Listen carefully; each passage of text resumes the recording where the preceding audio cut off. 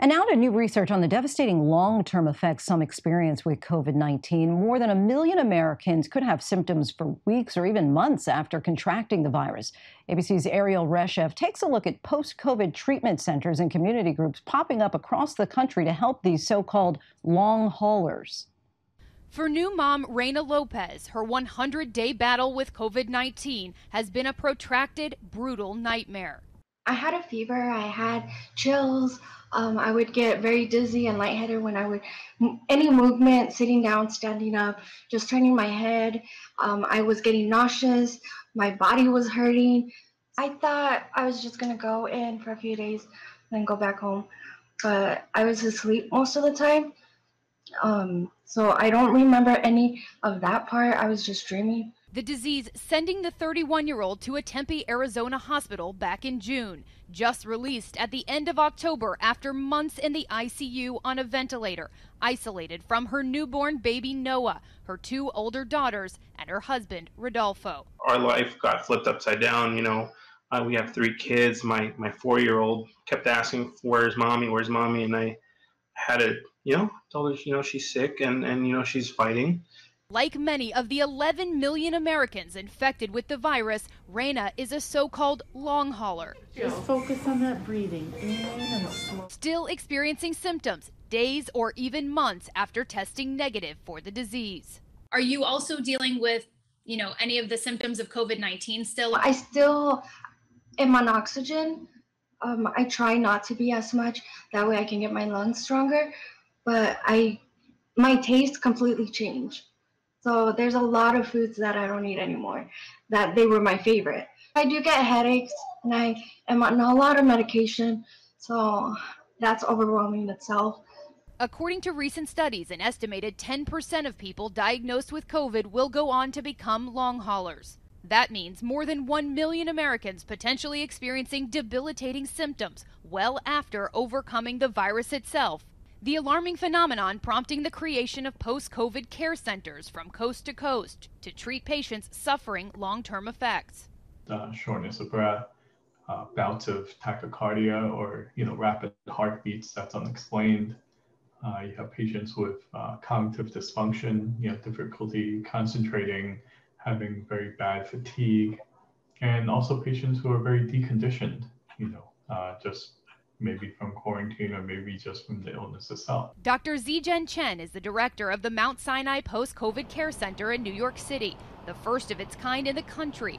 It was launched in May as the city was still reeling from the apex of the virus. Many of these patients admitted to the hospital, they needed some sort of follow up. I mean, these were very, very sick patients many of them in the ICUs. And because of that, we wanted to make sure that when they went home, that they had a good landing place and that we're continuing their care. And with the tidal wave of COVID cases across the nation, demand for post disease care is exploding.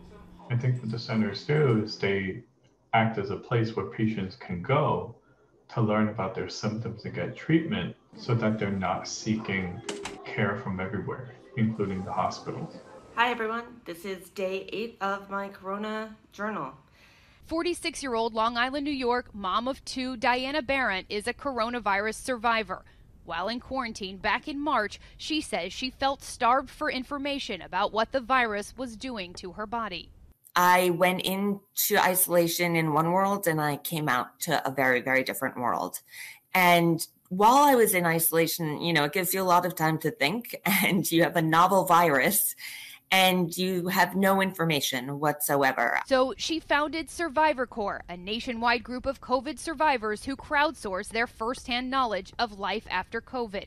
The group's Facebook page now has nearly 120,000 members sharing experiences, advice, and support.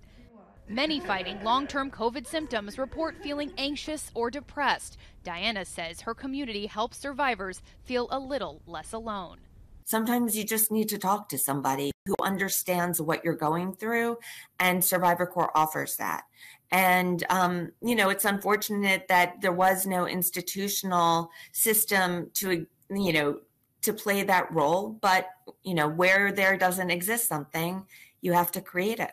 And the group also helping researchers examine trends in the long hauler population A recent survey by Survivor Corps and Indiana University School of Medicine found that fatigue is the most common of the top 50 symptoms experienced by long haulers, followed by muscle and body aches, shortness of breath or difficulty breathing, and difficulty concentrating.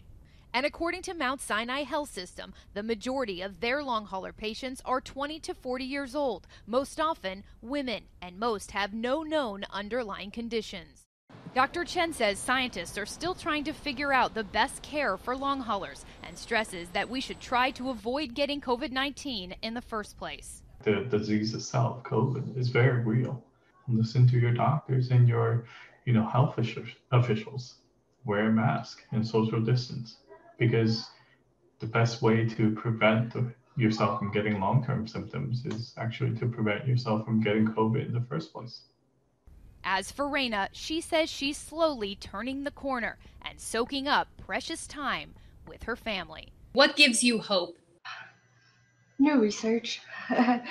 Maybe we can get rid of this and then my kids keep me going. My husband thinks I'm spoiling them, but I'm just making up for it. so my message is that just keep keep your faith um, and look for motivation in your loved ones and and hopefully, you know, we can all get through this here soon. Ariel Reshef, ABC News, New York.